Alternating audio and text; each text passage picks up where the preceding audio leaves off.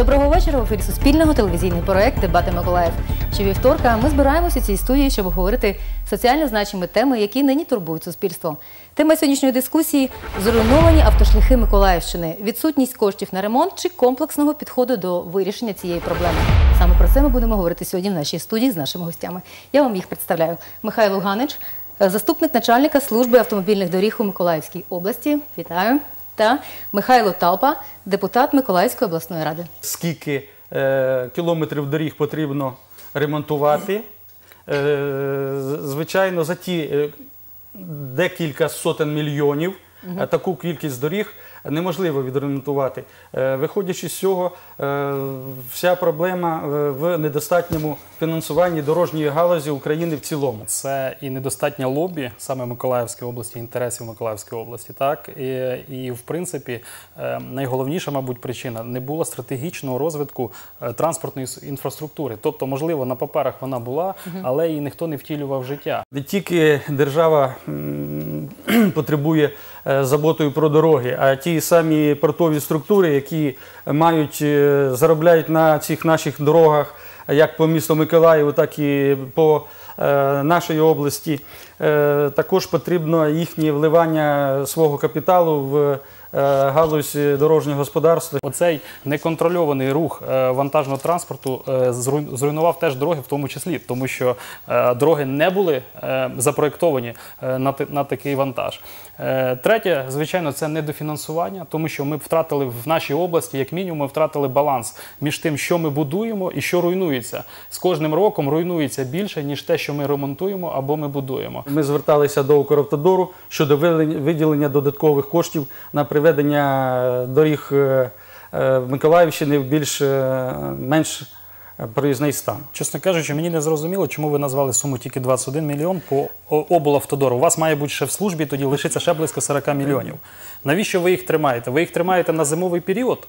Тоді я вам скажу, ми до зимового періоду можемо не дожити. З плану 584,8 мільйона е, використано 559,6 мільйонів гривень, що складає близько 96% використання коштів.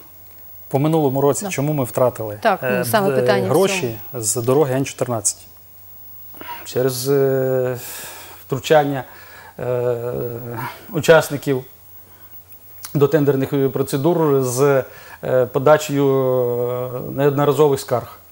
Я допускаю, що коли в минулому році на Миколаївську область на Н-14 виділяли кошти, вже тоді е, в Київській службі автомобільних доріг ніхто не планував фінансувати цю дорогу. Тобто вони поклали як на депозит, нехай лежить. Потім вони, я вважаю, вони ставили палки в кольоса службі автомобільних доріг в Миколаївській області. Вони казали про те, що тут треба проект допрацювати, тут щось не так, тут щось не те, переробіть, зробіть. Потім е, хтось там заявився на, це, е, на цей тендер, потім хтось зірвав цей тендер. І я думаю, що там не без участі е, окремих осіб і самої служби автомобільних доріг. І після цього, коли все було зірвано, служба автомобільних доріг з Києва вилучає кошти в Миколаївській області і передає в Вінницькій області і ще якісь області. Є окрема державна бюджетна програма, але на Миколаївську область виділено 500 мільйонів гривень. В тому числі на сьогоднішній день розпочаті з е, квітня місяця роботи з капітального ремонту е, автодороги Н4 Скропивницький Миколаїв.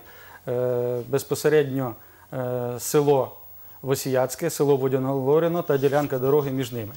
На капітальний ремонт цієї ділянки е, буде потра- витрачено 380 мільйонів гривень. Так, дорога Н-14 отримала 1 мільярд, але Миколаївська область отримала в половину менше, ніж те, що обіцялося. Це перший момент, він досить важливий. Так. І я вважаю, що вони мають нам все ж таки цей півмільярда віддати. Це перше. Друге, е, ви бачите, про що якраз ми говоримо, що на 1,1 мільярд, на самий великий шматок, е, кусок, скажімо так, дороги е, був е, розпочатий тендерна процедура, був уже навіть да, е, переможець, але було відмінено антимонопольному комітеті. Це те, що я казав, що в спайці працюють і антимонопольний комітет, і служба автомобільних доріг в Києві, і підрядники, і вони в ці питання крутять і вирішують, і не дають сьогодні нам будувати.